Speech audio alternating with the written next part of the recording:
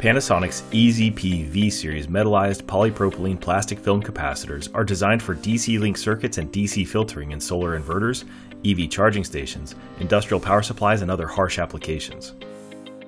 The EZP V-Series combines a small case size with voltage ratings up to 1100 volts DC, current ratings up to nearly 30 amps RMS, and capacitance values up to 110 microfarads.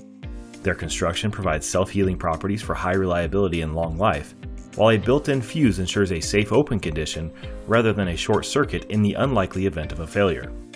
The EZP V-Series have high humidity resistance for reliable operation in outdoor applications, and have a flame retardant epoxy resin coating for use in fire safety applications.